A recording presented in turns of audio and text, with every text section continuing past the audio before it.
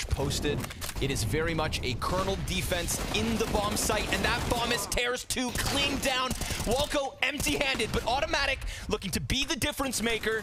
Plays around in sight, goes for the pit player, takes him down, and headtr1ck off the box. It's George half health. It's EG one kill away from taking a map off a European team.